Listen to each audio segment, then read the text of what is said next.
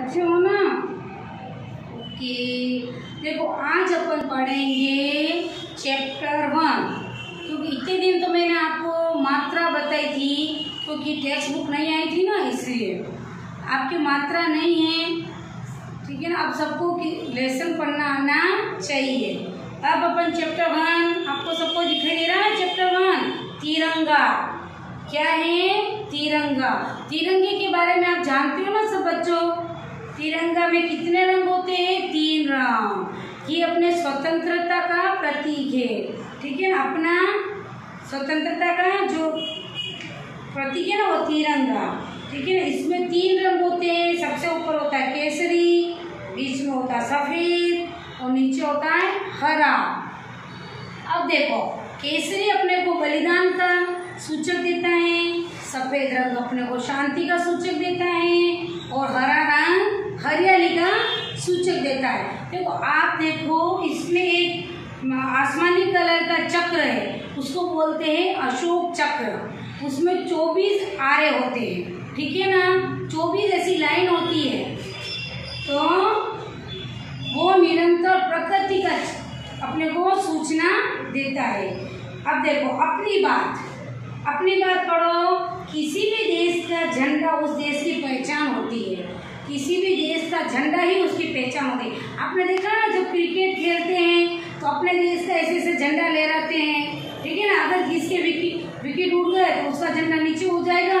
और जिसके रंग ज़्यादा बने तो उसका झंडा लहराने लगे। हर ऑस्ट्रेलिया वाला, ऑस्ट्रेलिया का, इंग्लैंड वाला, इंग्लैंड का। ठीक है ना? उसी तरह झंडा हर देश की पहचान है। तिरंगा भारतीयों की शान है। ठीक है ना? इसे ध्वज, इसी ध्वज ने आज़ादी के दीवानों में नया जोश भर दिया था। पहले अपना देश किसका गुलाम था? अंग्रेज़ों का। किसका गुलाम था? अंग्रेज़ों का। लेकिन अपने को कब स्वतंत्रता मिली?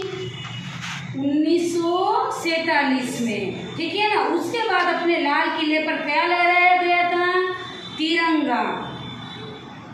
इसे हर नागरिक सलाम करता है। 21 तोपों की सलामी से सेना इसका सम्मान करती है।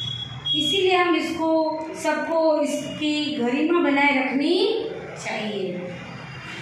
रास्ते में फेंक देना नहीं चाहिए। अगर तिरंगा पुराना हो जाता है ना तो उसको खड्डा खोल के उसमें गाड़ते, बल्कि उसको न तो जलाते हैं, न रास्ते में फेंकते हैं। आपके स्कूल में झंडा कब कब फहराया जाता है? कब कब फहराया जाता है बच्चों?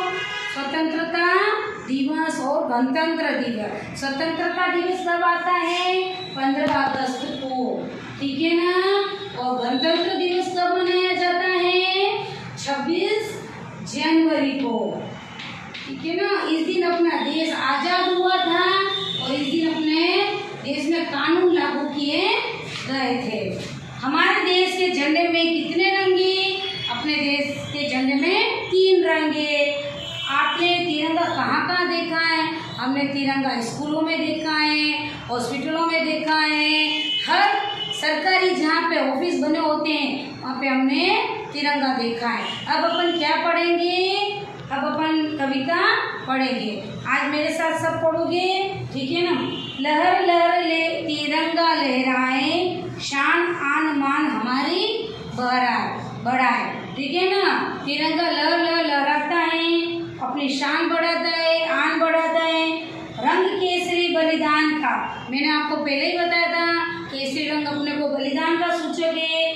बुलंद नारा इस देश प्रेम का। बुलंद यानी बड़े, बड़ा ऊँचा नारा है अपने। बुलंद नारा। देश का सबसे ऊँचा नारा दिया गया है। तो दुश्मनों को सबक सिखाना। किसको सबक सिखाना चाहिए? दुश्मनों को। ठीक है ना?